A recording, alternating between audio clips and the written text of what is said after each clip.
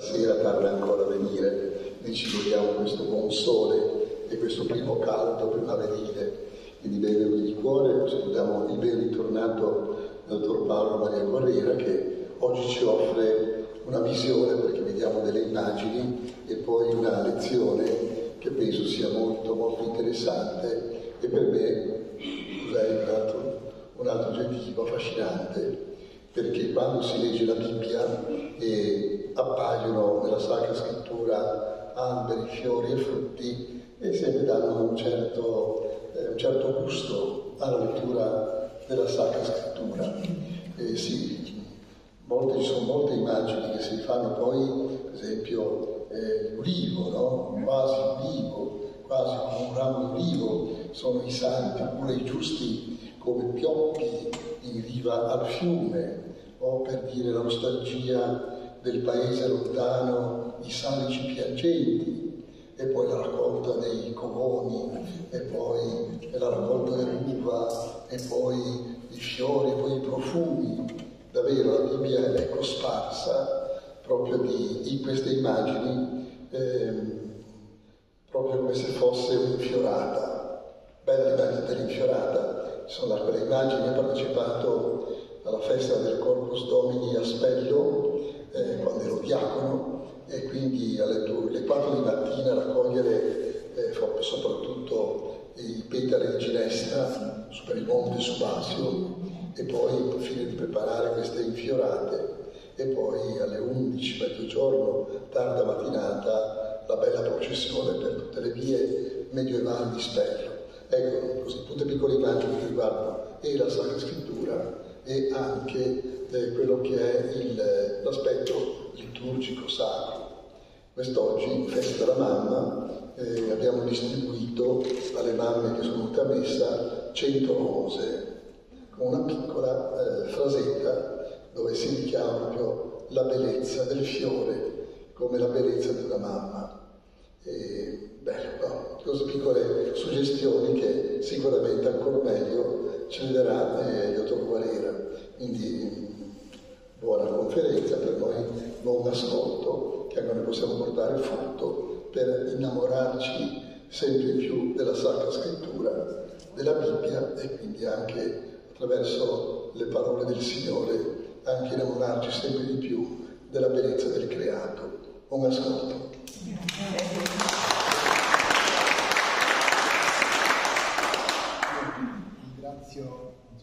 Ed accendere col tasto lì. Ok. Così. Eh, ringrazio Padre Vittorio Casalino come sempre per la sua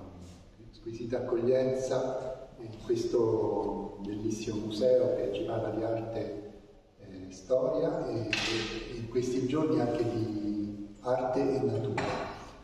Ho solo un problema piccolo tecnico qui perché vedo, chiedo a Luca se può aiutarmi vedo lo stemmo ridotto. il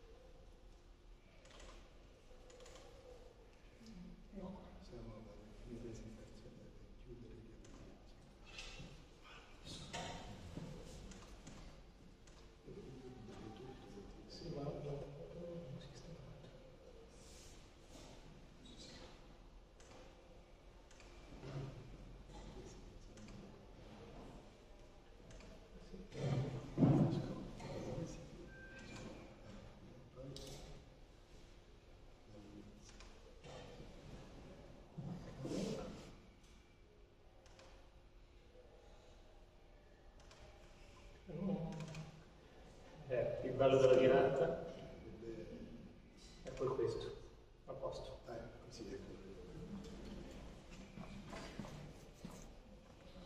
Bene, allora ho avviato il timer perché appunto devo stare nei tempi, è un argomento anche questo, come quello dell'altra volta, molto complesso e quindi è difficile stare nei tempi. non so se c'è qualcuno che era venuto già alla conferenza di venerdì scorso, eh,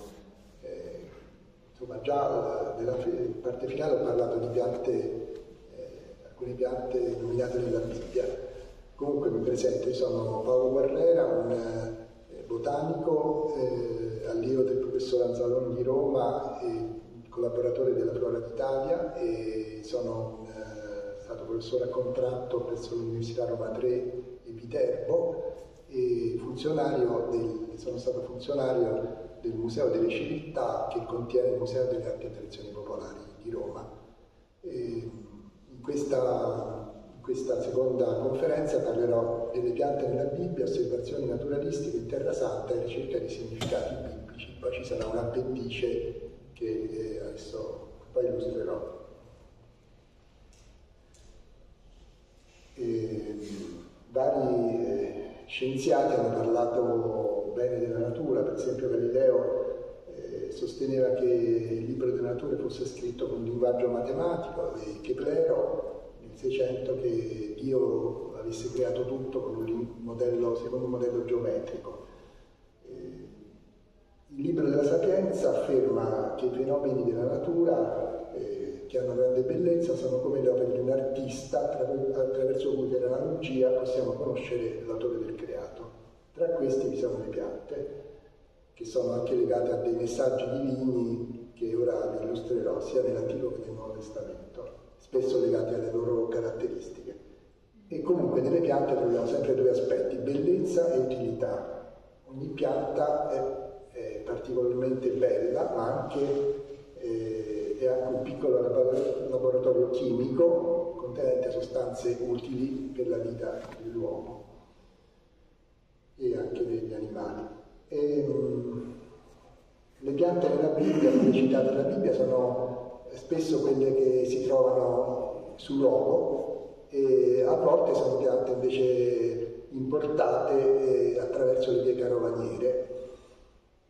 io parlerò oggi in particolare della geografia dei luoghi biblici, o meglio della geografia della salvezza. Spesso si parla di storia della salvezza, ma quasi mai di geografia della salvezza. Cosa vuol dire questo? Che oltre, mentre noi troviamo delle località citate nella Bibbia, come Gerusalemme, il lago di Tiberiade che vedete in foto, e altre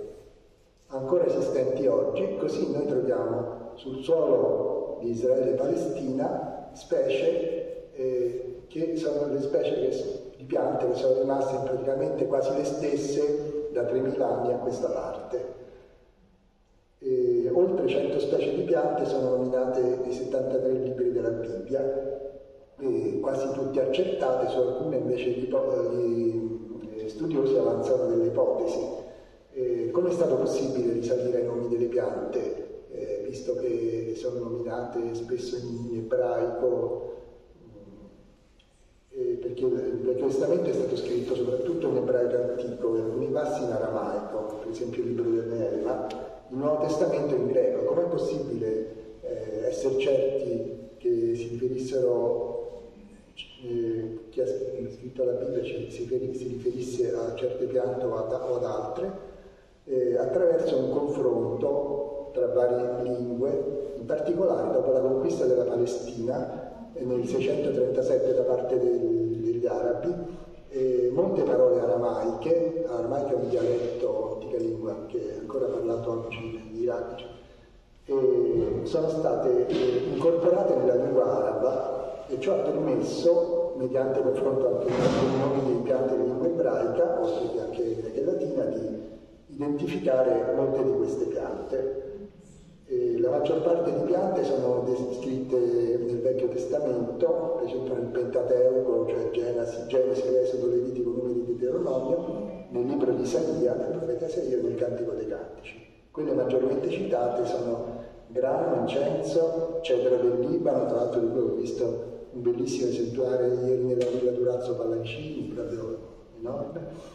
eh, che viene appunto dal Libano proprio lino, fico, eccetera, fino ad arrivare allo zafferano che ha una sola citazione, quindi da 175 a una citazione.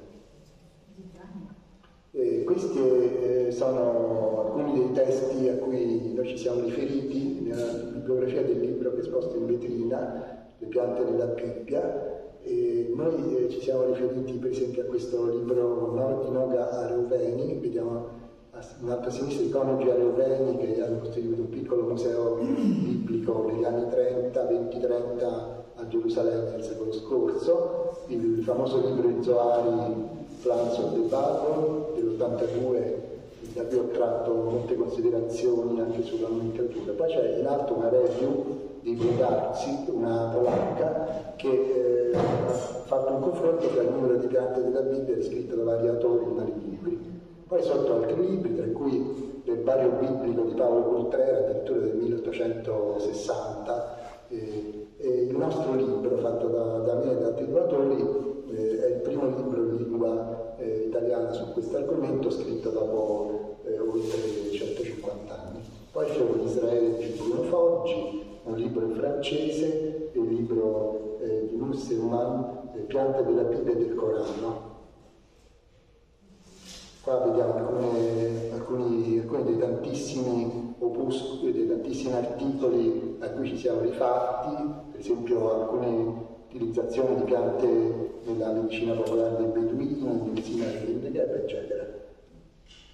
E l'articolo che vedete in alto a sinistra è quello che ho scritto io nel 2008 su una, su una rivista si chiama Natural 1 Arboristica e, e, poi successivamente mi sono incontrato con la professoressa Grilli, eh, la prima autrice del libro verde che vedete sotto, e, e con il dottor Travellini. Abbiamo fatto questo libro nel 2011, Le piante nella Bibbia, che trovate anche in vetrina esposto, e abbiamo cominciato a presentarlo nel 2013, poi abbiamo fatto altre presentazioni, tra cui per esempio l'ultima eh, all'Orto Botanico di Roma, eh, poco, pochi giorni prima che ci fosse, che scoppiasse la guerra eh, fra eh, diciamo, Hamas e, e diciamo, lo Stato di Israele, e era stato invitato anche il rabbino capo di Segni, eh, un vescovo di un settore di Roma, un'evangelica, e, e sotto vedete c'è un sacerdote che ha organizzato l'incontro con Franco Nardini e i tre autori, poi abbiamo anche fatto delle iniziative didattiche, siamo stati chiamati per esempio presso una scuola a Zagarolo dove hanno fatto una, nel 2016 una piccola mostra di piante bibliche e un libretto.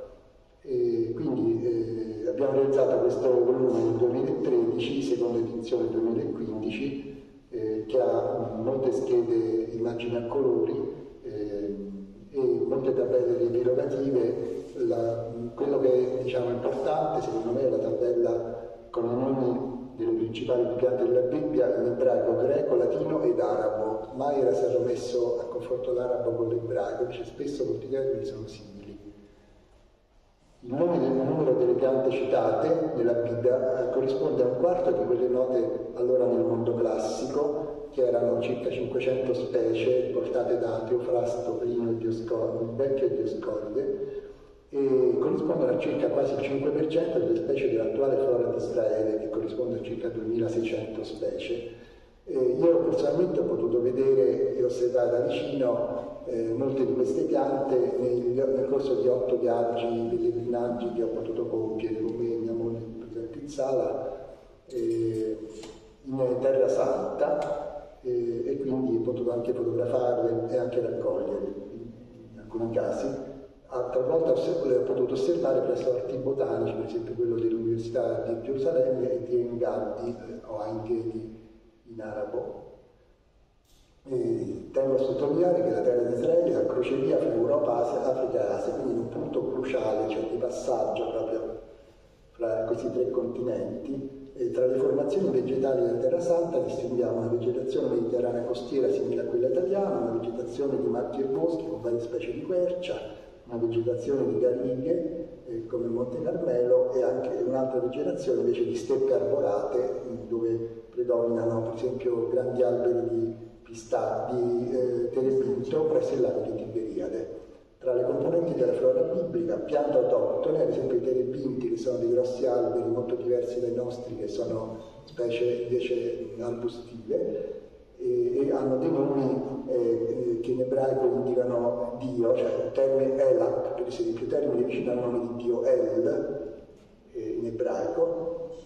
E poi appunto abbiamo piante eh, a distribuzione mediterranea, come ad esempio la mandragora autunnale, l'ortica pirulifera, eh, la quercia di Monte Tabor, presente però anche da noi in Puglia, il carrubo, e poi abbiamo un terzo gruppo di piante originali dell'Africa, tra cui la cacia randiana, con cui è stata costruita l'arca dell'alleanza, citata nel Vecchio Testamento, e il sicomoro, che, deriva, che viene dal Sudan. Di importazione sono invece piante asiatiche, per esempio il natto, di cui parlerà Frate Ambo nella prossima conferenza, eh, o la momo, e dall'Arabia proviene l'incenso, mentre dal Corno d'Africa eh, deriva, viene la mirra. E ora iniziamo a parlare delle piante del Vecchio Testamento, che, eh, di cui insomma, un po' arduo parlare, ma ci proverò. La prima pianta eh, citata nella Bibbia è il fico con cui eh, diciamo, Adamo ed Eva si coprono perché si accorgono di essere nudi. Eh,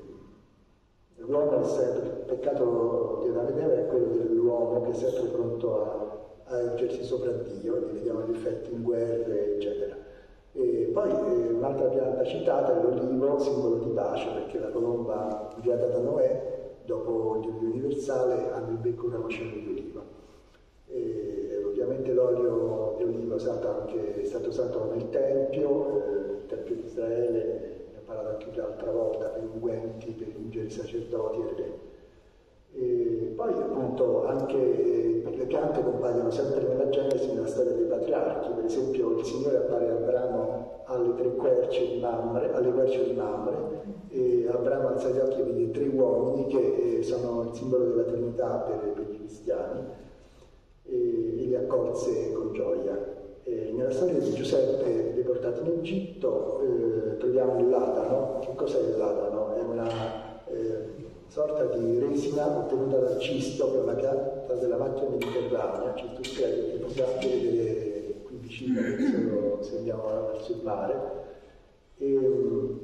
non è invece il laudano, che invece è una miscela di oppio zafferano venduta in farmacia, insomma è una, una resina locale. E potremmo parlare anche delle piante della notte di Pasqua, le cosiddette erbe amare, che rappresentano l'amarezza, ricordo dell'amarezza della schiavitù in Egitto per gli ebrei. E loro eh, fanno ancora oggi tutti gli anni la Pasqua ebraica, a base di cicoria, eh, caccialepre, che però appunto è una specie locale, eh, non Riccardia peperoide, se la nostra, ma Riccardia tingitana loro. E, mm, vabbè. E poi per esempio potremmo parlare dell'issopo, l'issopo biblico che, di cui parla Davide quindi nel Salmo 50 dice purificami con il sopra e sarò allora quindi sarò più bianco della neve. E che cos'è la dissopo? Una pianta, che cos'è? Una pianta simile alla, al nostro in maggiorana, eh, che eh, era usato come aspersorio del sangue dell'agnello eh, sulle porte delle case degli ebrei eh, quando ci, fu, ci, furono dopo le piaghe d'Egitto per impedire all'angelo sterminatore di entrare, quindi di entrare presso gli ebrei. E quindi come strumento di purificazione e in realtà quindi diventa anche un simbolo di umiltà, di umiltà perché infatti Salomone dice eh, parla de, sia del cedro del Libano che è maestoso, ma al contrario dell'issopo che sbuca dal muro come una delle piante più piccole. E poi nella Bibbia il colore bianco è simbolo di purezza, infatti vediamo che nella foto in basso a sinistra, eh, presa dall'Alto Botanico di Gerusalemme, l'issopo risulta con i colori bianchi proprio, con, con fiori eh, di colore bianco. E si potrebbe poi parlare del mandorlo, mm, la verga di, eh, di mandorlo di Aronne eh, sbocciò così, eh, produsse, produsse improvvisamente per miracolo ehm, fiori, e, gemme, fiori e frutti ehm, e, e questo mise fine a una unità tra le tribù che stavano ancora nel deserto. Nel passo della vocazione di Geremia c'è un gioco di parole, eh, come il mandorlo vigila annunciando la primavera perché fiorisce eh, prima fiorire d'inverno, eh, si chiama Shaked in, in ebraico, ebraico, che deriva dal verbo shakad, essere frettoloso, perché il mandorlo frutta di fiorire, così Dio si rivela come colui che vigila sulla sua parola per realizzarla, sciopero e vigilare, chiedendo al profeta di non fidarsi delle apparenze, eccetera. Poi i simboli di Israele, eh, citati nel capitolo 10 del nostro libro, eh, vedete il candelabro ebraico, la menorah, il candelabro a sette braccia, probabilmente gli israeliti si sono ispirati a delle piante dalla forma proprio a candelabro, come salvia palestina, salvia giudaica, però si parla anche di altre, come per esempio eh, questo, sotto c'è il verbascum sinaitico, che ha pure quella forma, e rappresenta eh, la luce di Dio stesso eh, come leggiamo nel versetto, la tua parola è una lampada ai miei passi, una luce al mio cammino. Eh, vi sono poi delle ipotesi sulla manna biblica eh, che, di cui sappiamo l'esatta natura, alcuni autori suppongono che potesse essere un estudiato zuccherino di, tama, di tamarice del deserto, tamaris nilotica, oppure di altre piante come Amada salicornica, che presso i Beduini è ancora chiamata oggi manna, quindi c'è questo, questa radice della manna, o anche altre ancora. E, um, vediamo sotto un articolo di Daniel che poi citerò in seguito, e parla della mana del Sina e di altre piante di storie vegetali. Vediamo a destra eh, questa eh, Amada salicornica e Tamarix nilotica. quando gli ebrei entrano nella terra promessa trovano sette piante, e sette piante la cartolina invece in alto è la cartolina delle sette specie della terra promessa eh, che sono frumento, orto, picchi, fichi, melograni, ulivi, eh, di ulivi e una, dunque, melograno, palma, fico, uva, vabbè, sono sette, palma da datteri. E la palma da datteri rientra anche nelle, le, nelle, piante della festa delle capanne, che sono quattro. Eh, sono palma, salice, milito, il cedro al lume, non il cedro del Libano, il cedro che vedete sotto, chiamato Extadar. Perché? Perché in questa festa gli ebrei ricordano che hanno vagato lungo nel deserto, eh, fermandosi nelle oasi rappresentate dalla palma. E poi hanno attraversato il Giordano, rappresentato da una pianta che cresce lungo i fiumi, come il salice. Hanno trovato poi la natura selvaggia, rappresentata dal mirto, che è pianta mediterranea, e infine hanno creato coltivazione di alberi da frutta rappresentati dal cedro al lume e per la, il ricordo della festa delle capanne eh, loro preparano delle capanne eh, che devono essere decorate da eh, palme che non, non, devono essere messe in modo troppo fitto in modo che guardando il cielo possano ammirare le stelle. Eh, questa è la necessità eh, di, di, avere una vita spirituale l'uomo deve avere la mente e lo spirito rivolti verso l'alto. Tra le piante citate il melograno, eh, una credenza ebraica, il melograno contiene 613 eh, eh, semi come comandamenti della Torah.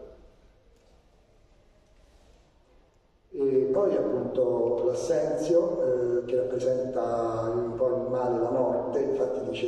eh, nell'esilio, eh, nella meditazione di Geremia, c'è il, ver- il verso, versetto mi ha saziato con erbe amare, mi ha disetato con assenzio. Simbolismo ripreso nel Nuovo Testamento. Nel cantico di Daniele invece vediamo tre fanciulli, schiavi a Babilonia, che poi salvati dal fuoco da Dio cantano il famoso cantico delle temperature che si legge ogni domenica nelle lodi eh, della domenica e lodano il Signore per la creazione. E in base ecco, a questa, pensiamo anche a San Francesco al Cantico delle Creature, e, insomma proprio, proprio a questa, eh, questa, questa, riflessione sulla bellezza del creato, eh, Papa Francesco ha promulgato l'enciclica Laudato Si, di cui ho parlato già l'altra volta, eh, che ha questo sguardo contemplativo protettivo sulla natura. E, che appunto ha ispirato anche la nostra mostra. Eh, sono citate le piante anche nei salmi, esempio il giusto fiorirà come palma, crescerà come cedro del Libano, Salmo 92, felicità per l'uomo, eh, parla della famiglia, quest'altro salmo, la tua sposa come vite feconda, i tuoi figli come il culto di oliva attorno alla tua mensa, Salmo 128, felice l'uomo, il Salmo 1, eh, che si compiace delle parole del Signore, tua, eh, sarà come albero piantato lungo i corsi d'acqua, che darà frutto a suo, danno, che dà frutto a suo tempo. Poi nei libri sapienziali si parla di, di rose, eh, rose canine, e anche di, eh, di, rose cresciute sul torrente e queste rose sono probabilmente gli oleandri. E nel Cantico dei Cantici sono citate poi moltissime piante, eh, di cui alcune molte profumate o spezie, eh, per esprimere l'amore dello sposo per la sposa, cioè tra Dio e il suo popolo. Per esempio albero di cipro, cipro è eh, nardo, zafferano, cannella, cinnamomo, mirra e aloe. L'aloe, per quanto riguarda l'aloe, non è l'aloe che pensiamo noi, quello eh, succo con le foglie succose, succolente, ma l'aquilaria bellocca, che è una specie proveniente dal, dall'estremo oriente ed è usata, era usata nel Vecchio Testamento per profumi. Poi le mele, i gigli, i narcisi, eccetera. E, si parla poi della Bibbia di, prof, di fare delle, delle, dei profumi particolari eh, secondo l'arte del profumiere, cosiddetti timiati, e questa era la base anche di incenso, anche di, di altre resine, storace, eccetera. E l'incenso, eh, l'incenso parleremo dopo, eh, alcune, alcuni fitotoponimi, cioè eh, nomi, nomi di, di, luoghi, derivano da piante, per esempio eh, Getsemani deriva da, significa frantoio delle olive, l'orto del Getsemani in cui ci fu la passione di Gesù. Il nome Tamar Palma dal luogo dei toponimi, e, per esempio Betonim deriva da Betonim pistacchio, e, per esempio Betfage che si cita nei Vangeli, significa la casa dei figli verdi, e così via. E poi i nomi di parole derivati da piante sono per esempio eh, Tamar, che vuol dire palma, Puva, Pua deriva dalla robbia, che è una pianta tintoria, Esther dal significa rito Susanna, da Shushan Giglio, e tra i nomi maschili, che sono di meno, dei femminili, l'olivo, Oren e Zait significano olivo. Qui ecco, vediamo alcune simbologie relative a piante bibliche, tra cui per esempio il cedro del Libano, già detto che rappresenta forza, vigore, eh, per esempio il giglio innocenza, purezza, l'incenso legato a Dio, il sopa all'umiltà, la mirta, la mira legata alla morte. E poi la tabella di, di cui parlavo prima, con i, i nomi eh, delle, delle, principali specie di quattro lingue, ebraico, eh, greco, latino e arabo. Passiamo al Nuovo Testamento. E nel Nuovo Testamento, eh, alla nascita di Gesù, si parla di questi doni offerti dai re solamente un evangelista nomina questo episodio, e che i re magi offrono in dono a Gesù, al bambino, oro, incenso e mirra eh, perché eh, questa stella, già che Clero nel 1603 eh, parla di una congiunzione tra Giove e Saturno che, che avviene ogni 794 anni e forse nel cielo di, della Palestina comparve una, ecco, una stella molto luminosa che erano appunto questi due Giove Saturno eh, congiunti e, sono questa, questo è nominato anche nella tavola planetaria eh, conservata a Berlino, nel Laboratorio di Berlino, nella tavola di Sipar. Eh, I simbolismi sono questi, eh, l'oro rappresenta la rivalità di Gesù, l'incenso la sua divinità, la mira la profezia della sua morte in croce. Eh, per quanto riguarda l'incenso, eh, Marco Polo riporta nel milione che, eh, capitolo 31, che gli abitanti di un paese della Persia narravano come tre di loro si fossero recati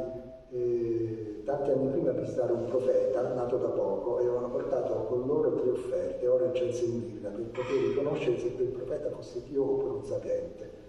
Pensavano se prende oro è un re, se prende incenso è un Dio, se prende mirra un sapiente. Lo adorarono e gli offrirono oro, incenso e mirra. Il bambino prese tutte e tre le offerte. Bene, passiamo adesso alle parab- piante delle parabole di Gesù. La prima, una delle più importanti, è la senape, fa parte delle specie esclusive del Nuovo Testamento, insieme ad amono, carrubo, menta, rupe e mezzania. La, la cosa è simile al regno di Dio è simile a un granellino di senapa preso e gettato nell'orto. Diventa un arbusto, il cielo del cielo, del cielo si, si posano tra i suoi rami. E allora, cos'è questa senape? È una fiore con quattro petali a croce, una pianta che cresce molto rapidamente, che ha i semi piccolissimi, cioè in realtà noi abbiamo visto qua Brassica nigra, ma esistono diverse specie di senapi eh, presso il lago di Galilea, presso mare di Tiberiade, insomma di Galilea, eh, dove sembra appunto Gesù abbia detto la famosa parabola, la, dove abbia fatto il discorso della montagna e raccontato queste parabole. E, quindi parliamo anche di Sinapis salva, Sinapis arvensis o Sinapis iucea, ora chiamata Brassica iucea perché è il nome. E comunque eh, piante dai fiori piccolissime che crescono molto rapidamente, che possono arrivare a due metri, eh, per cui io stesso ho potuto constatare con i miei occhi come eh, certi uccelli passerati cioè, si dondolano fra, su queste erbe eh, presenti o lungo le rive del lago oppure sulla collina soprastante o su altre erbe anche, perché eh, in, quel, in quella zona c'è il passaggio di uccelli che vanno dall'Africa alla Turchia e viceversa. Eh, quindi eh, questa parabola sembra insomma, molto azzeccata, veritiera. E, tra l'altro la sera usava anche per fare cure, senatismi, eh, per curare bronchiti, tossi, eccetera. E poi c'è la parabola della zizzania, il regno dei cieli è simile a un uomo che è seminato nel buon seme, però mentre tutti dormivano viene il nemico e semina zizzania. Questa zizzania è rappresentata da un fungo del genere Ketonium che si posa su, sull'olio, sull'olio, e l'olio che è una pianta diciamo nell'erbaccia, diciamo, che però cresce insieme al grano e può diciamo, rovinare la messe del grano. Poi vediamo il giro dei campi, eh, quando Gesù dice perché vi affannate per i vestiti, osservate come crescono i giri dei campi, non lavorano, eppure, eppure Salomone vestiva come uno di loro, Gesù poteva riferirsi forse al giglio bianco che vedete in alto a sinistra, a destra, eh, però il giglio bianco non è molto frequente oggi in Israele, si presenta solo sul Monte Carmelo, cresce solo spontanea solo in poche località. Forse, forse Gesù si riferiva ad altre specie, così dicono i botanici, tra cui per esempio alcune specie di iris o gladioli o tulipani o, o alla, all'anemone coronaria, che tra l'altro è un'anemone che noi vediamo anche presso i nostri fiorai, che, che è infestante messe in certi posti, oppure al giglio di mare, pancrazioni marittimi, che noi troviamo anche sulle nostre coste. Avanti. Ecco, vabbè, il giglio ovviamente è anche simbolo di, molto utilizzato nell'iconografia cristiana, quindi per l'annunciazione, simbolo di, di particolari santi come San Giuseppe, San Luigi Gonzaga, Santa Chiara d'Assisi poi c'è il simbolismo del, del grano e della vite. Noi troviamo più di 500 citazioni relative al grano, frumento e derivati, pane e farina nella Bibbia e 450 eh, per la vite e derivati, cioè vino, mosto, vino, eccetera. E pensiamo al fatto che Cristo dice sono la vera vita, il padre mio il vignaiolo, eccetera. E pensiamo all'istituzione dell'Eucaristia, eh, questo è il mio corpo che dice Cristo, dato per voi, e beneficendo il sangue, dice, il vino dice questo è il mio sangue offerto per voi, per la nuova eterna alleanza. E si potrebbe poi parlare del nardo, di cui parlerà, come dicevo, frate Ambu, eh, pianta dell'Himalaya che cresce a 2500-3000 metri di altezza, ancora oggi da un unguento preziosissimo e costosissimo. E si, si, narra che una donna versò olio di nardo su, sui piedi sul capo di Gesù e, e nel Cantico dei Cantici l'unguento di nardo è per tradizione eh, ricordato come un elemento che si gira al matrimonio. E la sposa però appunto sposa dopo l'unzione conservava una fiala di unguento da usare in futuro nei riti funebri del consorte e Gesù stesso allude a questo significato simbolico come premonizione della sua imminente morte e sepoltura. quindi il nardo è simbolo di umiltà. l'ingresso di Gesù a Gerusalemme avviene con un gran concorso di folla eh, che prende dei chiari rami di palle e che poi getta, mette praticamente sulla strada eh, dei mantelli delle fronde e da questo probabilmente nascono le fiorate di cui ho parlato l'altra volta del periodo barocco. E poi Gesù parla del chicco di grano che se non muore eh, non produce frutto, riferendosi a se stesso, e, e appunto muore in croce e viene coronato di spine, le spine rappresentano i fatti che a volte non sentiamo a comprendere, e poi eh, morendo eh, poi viene diciamo sembra che Gesù sia stato avvolto da una mistura di mirra e diavolo perché portarono al sepolcro eh, circa 30 kg, cioè 100 libri di mirra e aloe per imbalsamare il corpo di Gesù. E comunque chi crede alla risurrezione di Gesù sa che dai Vangeli che avvenne in un giardino e, da cui anche ascesa al cielo e si ritiene che le radici degli olivi oggi presenti siano le stesse degli alberi che furono testimoni di questo fatto. E infatti parliamo di eh, piante molto molto vecchie, alcuni dicono che potrebbe avere 2000 anni, insomma comunque questi, questo olivo che vedete in basso a destra è uno degli, or- degli olivi che è presenti nell'orto del Getsemani. Le parole di Gesù sono le ultime, ecco sono con voi tutti i giorni fino alla fine del mondo. Abbiamo visto che Dio ci lascia diversi indizi della sua presenza anche attraverso la bellezza della natura e anche la bellezza prima di tutto dell'uomo stesso. E San Francesco di Assisi eh, attraverso la creazione si metteva in comunicazione con Dio e si faceva interprete nella lode di Dio, eh, dando voce a tutte le creature. La risurrezione di Gesù è un argomento di fede anche se eh, lui ci ha lasciato diversi indizi, come scrive Vittorio Messori, eh, che motivi avevano gli apostoli di mentire quando mostrano se stesso come traditori, quando scrivono che Gesù appare a apostoli increduli eh, addirittura la prima apparizione appare davanti a delle donne che non avevano nessun credito in passato. E se la fede non si oppone alla ragione, sempre comunque un, affidamento a Dio, eh, perché Gesù dice infatti eh, ti ringrazio Padre perché tu hai nascosto queste cose sapienti e intelligenti e le hai rivelate ai piccoli. Però ora eh, tratterò adesso, nonostante tutto questo, di una parte opzionale che è dedicata a una reliquia della Chiesa, forse la più importante la Sacra Sindone, di cui parliamo noi, io e gli altri due, miei due coautori nell'ultimo capitolo del libro delle piante nella Bibbia.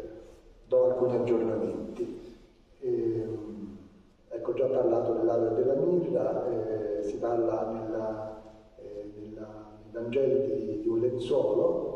ancora oggi nella sepoltura ebraica gli, gli ebrei usano il Tadesh, un lenzuolo di lino, posto sopra la bara e questo lenzuolo, la sindrome sarebbe proprio, proprio un lenzuolo di lino, con l'immagine dell'uomo dei dolori di Isaia, che eh, si ritiene sia stato portato da Gerusalemme ad Essa, nell'attuale Turchia, e poi a Costantinopoli, eh, Istanbul. E scompare per alcuni secoli, poi ricompare in Provenza e poi è trasferito a Torino.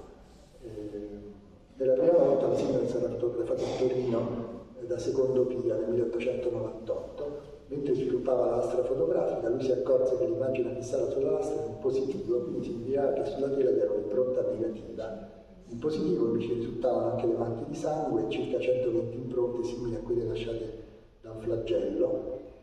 E alcuni non hanno creduto a questa immagine di Pia, eh, però quando le foto sono state ripetute nel 1931 da Henry, alla presenza ancora de, questo, del secondo Pia, si vide che lui aveva ragione. Il lino è una pianta da fiori azzurrini oggi non più tanto coltivata. Nell'88, nel 1988 eh, sono stati pre- prelevati tre campioni di tessuto eh, e sono stati datati con il metodo del radiocarbonio in tre diversi laboratori. Il risultato annunciato è 1260-1390 d.C. Gli anni successivi sono caratterizzati da della cipolenche. scrive Bruno Barberis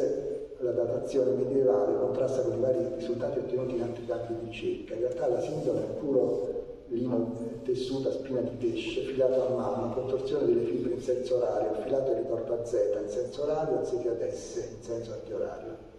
Questo, questo, diciamo, questo telo della Sindor assomiglia molto a teli rinvenuti a Palmira in Siria, ad Altar in Iraq e nel deserto della Giudea. E,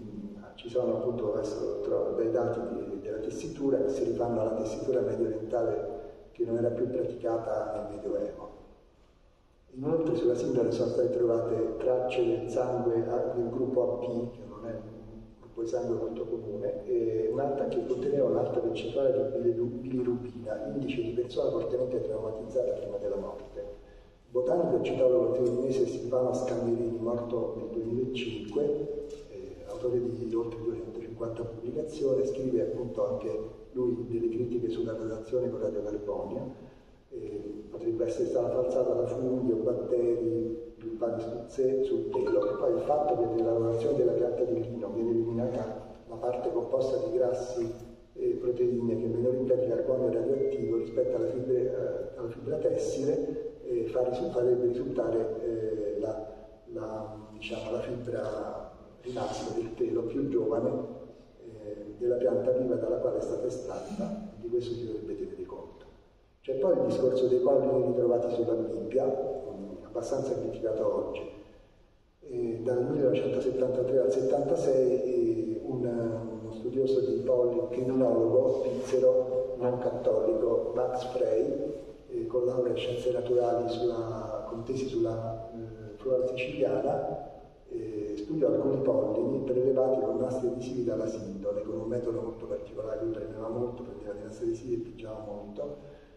E lui disse di aver trovato mh, beh, circa 70 tipi di pollini, eh, di cui molti medio orientali, eh, qualcuno trovato anche a Edessa, Urfa e a Istanbul.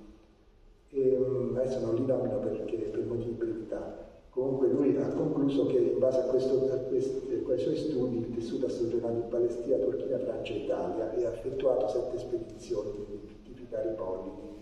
E poi non, non c'erano però i pollini di olivo eh, fra questi è stato spiegato per il fatto che lui, l'olivo fiorisce a maggio, fra maggio, maggio e giugno, quindi se la sindrome si riferisce proprio a Gesù, Signore Gesù, la Pasqua era venuta precedentemente. Lui muore prematuramente nel 1983 e ancora, e poi le sue diciamo, ricerche sono i suoi pollini, tante sono studiate, studiate ancora da eh, un botanico Uri Baruch,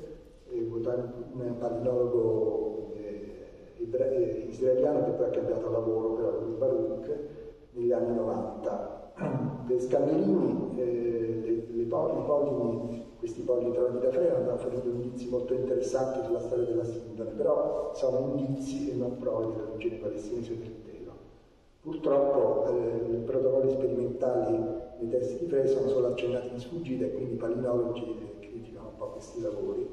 Eh, Uri Baruch ha declassato molti di questi pollini classificati come piante con eh, come specie, con nome e cognome, solamente da declassati al rango di genere, solamente col cognome. E, però la, comunque la nota, la, la nota palinologa Marta Mariotti, Mariotti Lippi dell'Università di Firenze scrive nel 2011, eh, eh, facendo riflessioni su anche una, un libro che era un pamphlet che è uscito, è uscito anche su internet, eh, che era contrario a questa diciamo, dimostrazione dei pollini, della correttezza, praticamente eh, non mi sento autorizzato a condividere il giudizio negativo dato su Frey in fatto di buona fede e correttezza morale. Il limite è che lui ha voluto a tutti i costi identificare il livello di specie grandi che vi trovava e comunque eh, lui, lei eh, scrive che eh, riducendo questo elenco proprio all'osso rimanevano sempre piante, sempre, eh, alcune piante medio orientali, quindi ha concluso che la Sindone era soggiornato in Medio Oriente. Paul Malone, archeologo eh, statunitense, nel 1986 acquisisce eh, campioni prelevati da Frey, però poi osserva anche parti, poi, parti di piante e frammenti di figurine. filamenti antere. Questo a valore l'ipotesi suggerita dal palinologo Orville che sulla sindrome siano stati deposti fiori di una prova della sua storia.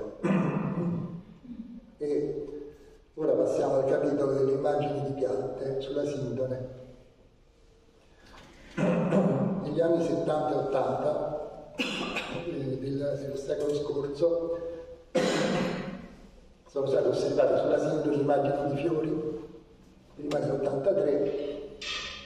da eh, poi da Alan Banger, professore della Duke University. E queste vengono spiegate con l'effetto corona, cioè se uno per esempio ehm, tiene dei, dei, delle piante, dei fiori prestate in libri o eh, carta assorbente, eh, carta di giornali, dopo un po' di anni si sviluppano delle, eh, delle impronte, delle immagini, eh, perché eh, sia, la, sia la carta che il ligno della sindone sono composti di cellulosa. Sulla cellulosa si depositano dei fenoli provenienti da queste piante eh, altrimenti, che danno tipiche impronte, altrimenti spiegate come eh, effetto elettrostatico o, con emissione di elettroni. Eh, questi coniugi Vanger eh, statunitensi chiedono aiuto a un botanico israeliano, certo Avino Andalim, che io ho conosciuto personalmente, e e lui comincia a guardare, a vedere queste immagini eh, e nel 1999 però, eh, pubblica eh, una, un lavoro, Flora della Sindone di Torino, eh, edita dal Missouri Botanical Garden eh, degli Stati Uniti, eh, in, in, collaborazione con Langer e con Langer. tra l'altro lui è non è cattolico, questo Danin è il massimo esperto della flora israeliana, di cui hanno descritto molte specie, creando anche un database della, della flora. Alcune immagini Danin riesce a riconoscere a occhio nudo durante un'ostensione della Sindone nel 2000, altre le vede prima su vari tipi di foto scattate eh, da diversi fotografi Qua appunto spiego in questo libro, c'è un'intervista, cosa l'ha spinto a affrontare questo studio, e lui è stato contattato, all'inizio era un po' incredulo, poi si è messo in gioco. E io posso dire che ho conosciuto personalmente il professor Danin, eh, ricordo ancora nel 2001 quando lo, eh, con l'aiuto di un interprete, Margherita Morgante, eh, ho parlato con lui all'aeroporto di Fiumicino,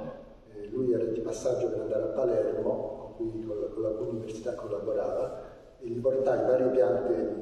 i miei campioni di piante determinati eh, che, eh, da me, eh, raccolti da me in eh, Israele e Palestina e lui mi aiutò anche nella determinazione, rideterminazione di alcuni campioni. E poi parlammo un po' abbastanza a lungo eh, della, di, tutto, di, tutte queste sue scoperte, e, anzi addirittura l'interprete era che una cosa ne riferiva perché era talmente interessato a questa cosa che non mi riferiva tutto. E comunque se l'ho rivisto altre volte, eh, per esempio un giorno nel 2012 la mattina all'Università La Sapienza, dove tengo un seminario che cui faccio vedere ecco, la, eh, come dire, il foglio insomma, introduttivo piante del deserto, la ricezione di Israele, un esperto di piante del deserto di Israele e, e poi appunto il pomeriggio invece alla Regina Apostolorum, all'Università sempre di Roma, qui ha fatto proprio una conferenza sulle piante della, della sindone. E è una persona un po' come dire particolare, ha scoperto 49 specie di piante, 5 sottospecie, ha scritto 7 libri, il primo ha scritto eh, Fiori di Gerusalemme in ebraico e arabo, poi ha avuto altre traduzioni ha scritto oltre 240 articoli su riviste e 50 relazioni a importanti congressi internazionali.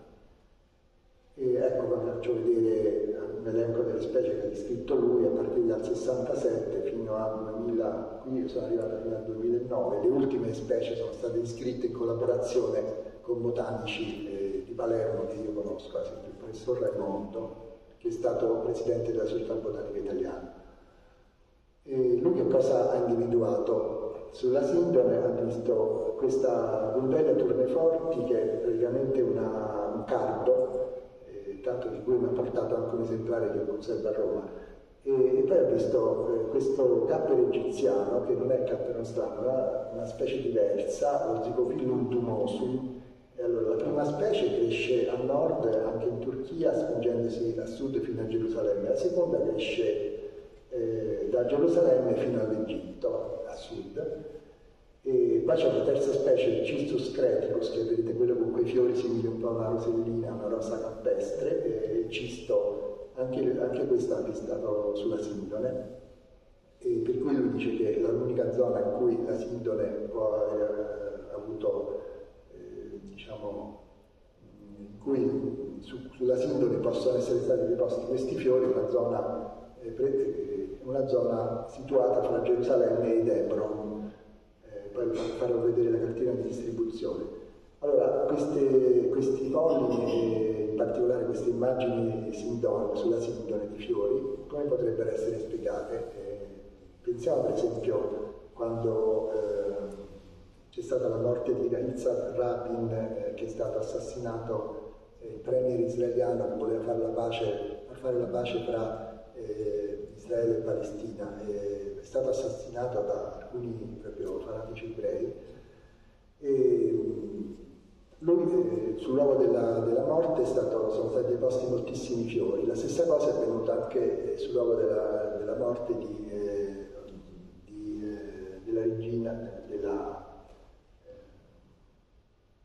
eh, Lady Diana, di Lady Diana Ecco, eh, la stessa cosa potrebbe essere avvenuta anche eh, con Gesù. Eh, c'erano delle donne che seguivano Gesù, che erano assistite alla crocifissione, potrebbero essere state loro a depositare fiori e piante in onore del Maestro e alcuni resti di piante potrebbero essere rimaste sul lenzuolo funebre.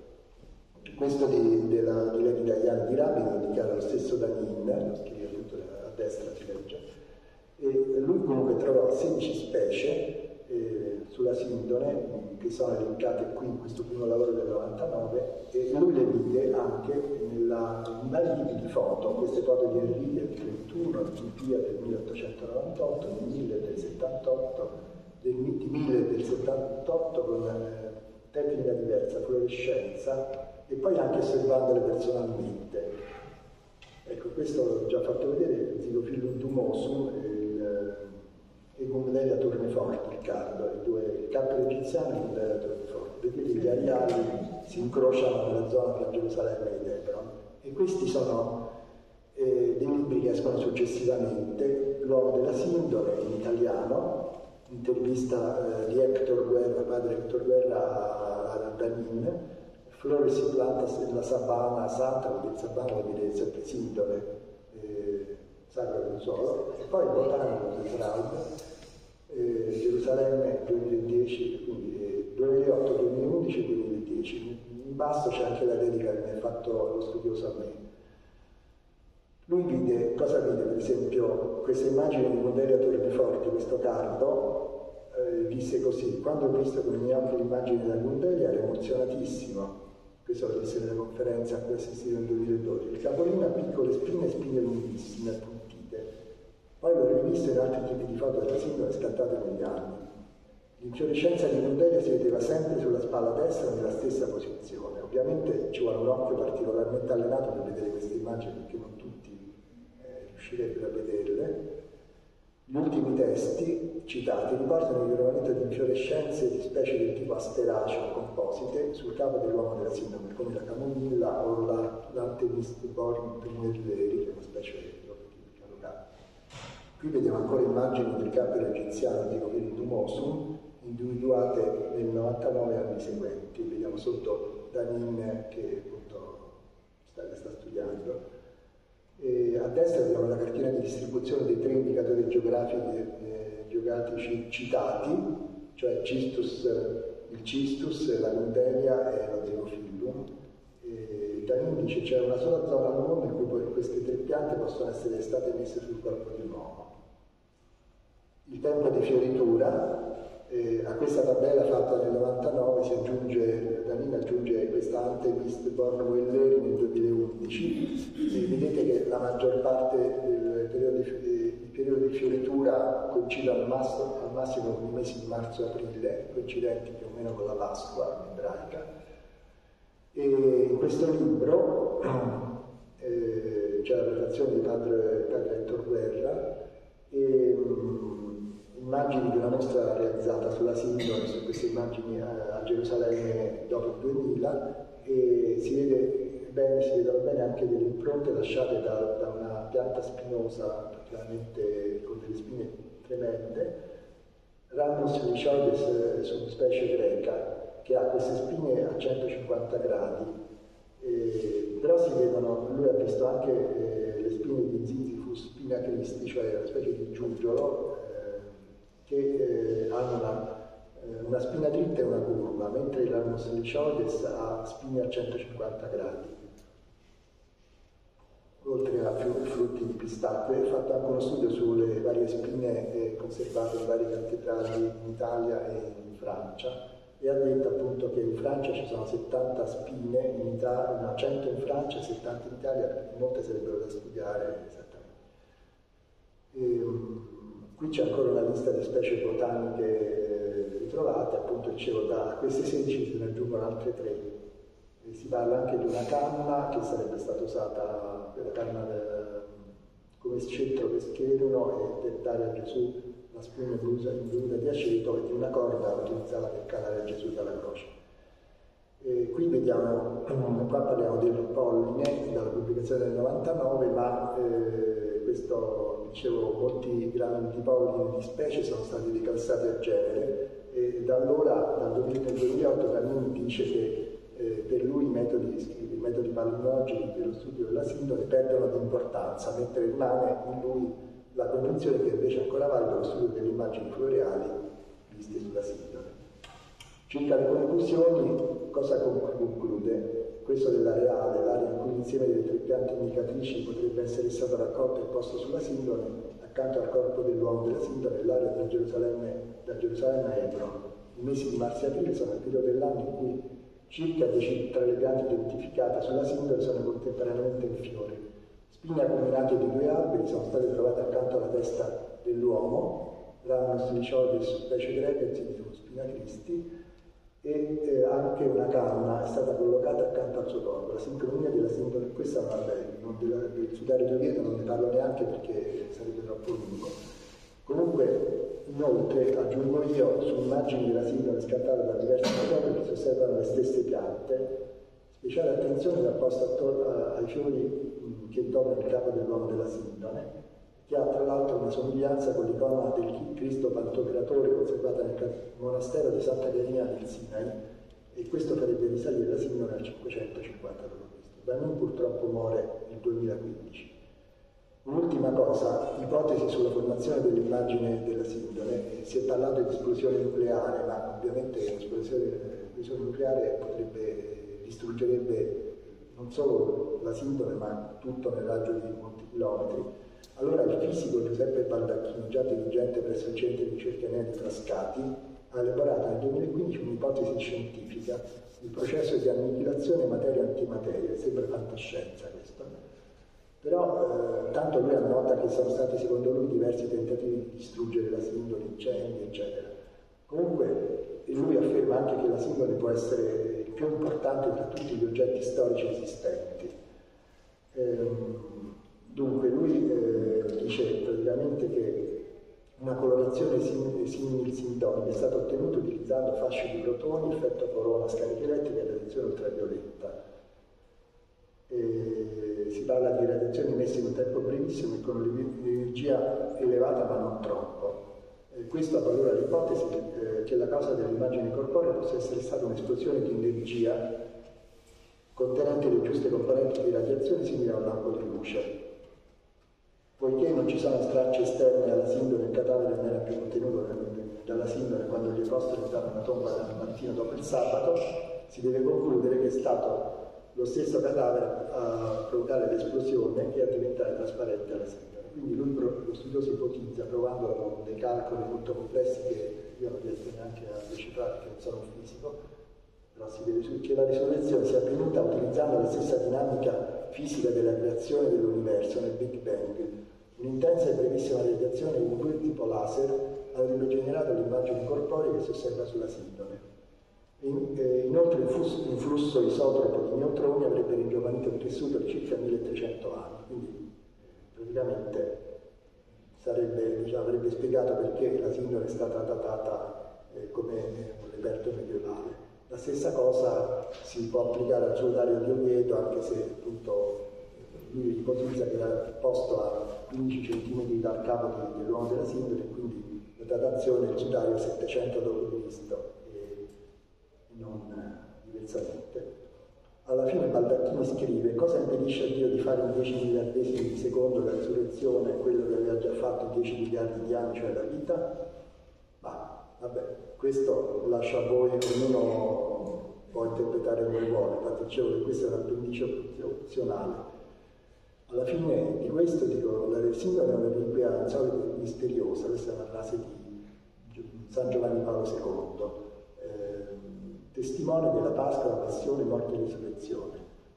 E anche una provocazione all'intelligenza e forse eh, le gocce di sangue, scrive un salesiano, rimasero a ricordarci per sempre la passione, le ombre segnate a fuoco per indicarci la risurrezione,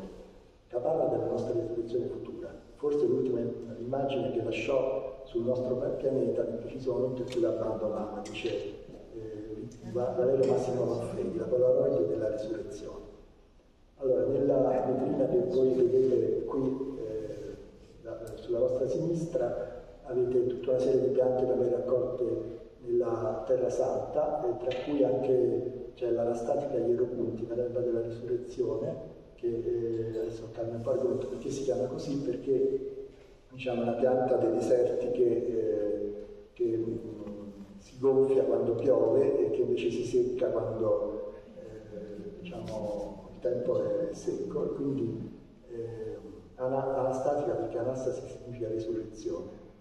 i rami si aprono rapidamente quando piove, cioè rende fruttificando, i semi cadono nel terreno, è chiamata anche Kaf Mariana, cioè mano di Maria, o Kaf Fatima, cioè la mano di Fatima, la figlia di Maometto. Usata a scopo rituale, in Palestina chiamata anche pianta del parto, Shidra al-Kalas, perché mentre la donna inizia il travaglio viene posta in acqua, si apre e questo, in questo modo eh, sembra che appunto simula il, l'apertura dell'utero una donna. Quindi è usata in maniera benaurante, come diciamo, tranquillizzante, eh, molte donne, sia musulmane che palestinesi cristiane, come rilievi, eccetera. Ecco, concludendo il discorso che avevo iniziato all'inizio, sempre parte la parentesi sulla sindone, eh, il Vangelo si diffonde negli Atti Apostoli, è narrata questa, questa vicenda, eh, soprattutto per la predicazione di San Paolo in tutto il bacino del Mediterraneo e San Paolo ricorre ancora a qualche paragone botanico, per esempio dice prima Corinzi io piantai, Apollo irrigò, ma Dio fece crescere. Ad Atene fa il ricorso della risurrezione, ma quando sentirono parlare di risurrezione dei morti alcuni lo deridevano, altri dicevano su questo ti sentiremo un'altra volta, ma alcuni si unirono a lui e divennero credenti. Concludiamo il nostro viaggio sull'isola di Patmos, dove San Giovanni avrebbe scritto l'Apocalisse. Ecco, questa foto è stata fornita da mio fratello Gabriele, che è stato.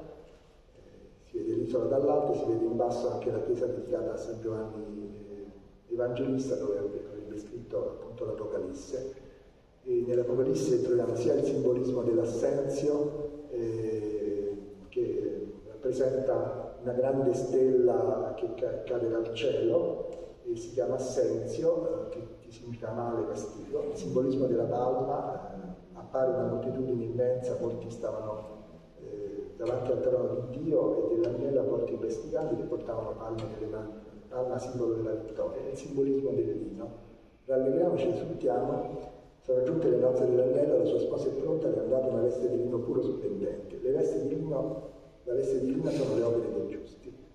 Potremmo ancora parlare a lungo, ma concludiamo eh, ancora con una frase di Giovanni Paolo II che disse ai giovani a Santa Croce a Firenze nel 86.